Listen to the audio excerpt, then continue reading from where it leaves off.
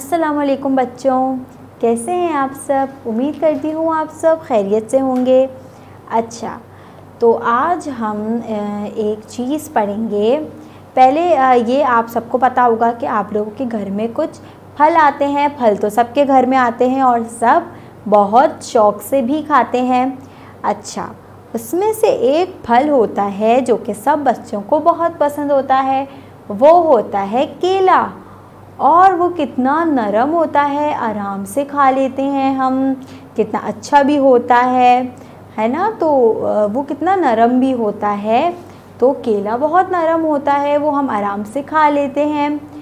अच्छा तो एक और फल भी होता है जो हमारे घर में आता है, दरख्तों पर भी लगता है, वो होता है अमरूद। अमरूद तो हमें मम्मा काट के देती हैं अक्सर, काट के देती हैं, लेकिन हम उसको वैसे भी खाते हैं।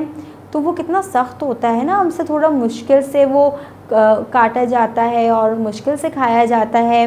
केला कितना नरम होता है, वो हम कितने मज़े से फटाफट खा लेते हैं। अमरूद में लेकिन हमें थोड़ा सा सख्त, उसमें बीज भी होते हैं ना, थोड़े सख्त सख्त से तो अमरूद तो सख्त होता है और केला नरम होता है।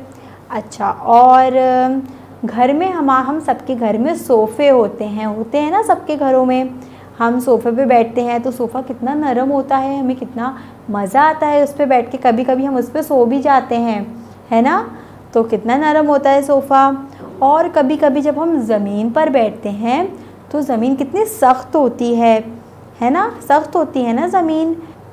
अच्छा ये तो मैंने आपको कुछ चीज़ों के बारे में बता दिया कि कौन सी नरम होती हैं, कौन सी सख्त होती हैं। अब हमें ज़रा बुक में भी कुछ तस्वीरों के ज़रिए से बताया हुआ है। कि कौन सी चीज़ नरम होती है और कौन सी सख्त होती है। बुक पर आ जाते हैं। सब अपनी उर्दू की प्रियर टू की किताब का सफ़ा नंबर तिरासी खोलेंगे, यानी कि एटी थ्री। अच्छा यहाँ पे हमें कुछ तस्वीरें हिदायतें दी हुई हैं, जो कि हैं, पढ़िए और रंग भरिए। और यहाँ पर हमें आज की तारीख भी डालनी है याद से। अच्छा देखते हैं सफ़े में हमें दिया हुआ क्या है। अच्छा तो इस सफ़े में हमें दो तस्वीरें दी हुई हैं। एक तस्वीर है ईट की और दूसरी है तकिए की तस्वीर। अच्छा ईंट देखिए आपने घर बनाने में इस्तेमाल होती है, इतनी भारी होती है और कभी उठाइए हाथ में कितनी सख्त होती है। तो ईंट क्या होती है? ईट सख्त होती है। ईंट सख्त होती है और नीचे दूसरी तस्वीर हमारे पास है। तकिए की, तकिया तो कितना नरम होता है। इस पर हम रात को सर रख के सोते भी हैं, क्योंकि नरम होता है ना, इसलिए सोते हैं। तो ये है तकिया, जो कि बहुत नरम होता है। अच्छा यहाँ पे हमें लिखकर भी दिया हुआ है, सख्त और नरम। उनको पढ़ लेते हैं एक बार।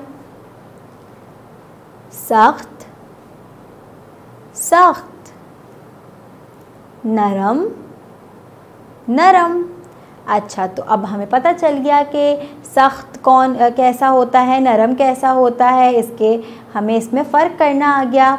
अच्छा तो ये सब करने के बाद हम इसमें रंग भी भरेंगे, जो कि हमें बहुत अच्छा लगता है। रंग भरना तो हमें कितना पसंद है। तो इन दोनों तस्वीरों में हम अच्छा अच्छा सा रंग भी भरेंगे और सारा काम करके हम अपनी मामा को दिखाएँगे, ताकि वो देखें कितना प्यारा काम किया है आपने। ठीक है तो ये थी हमारी आज की क्लास, जो कि ख़त्म हो गई। मुझे उम्मीद है आपको बहुत मज़ा आया होगा। कल मैं आपके लिए और अच्छी अच्छी चीज़ें लेकर आऊँगी। जब तक के लिए अपना बहुत सारा ख्याल रखिएगा। अल्लाह हाफिज़।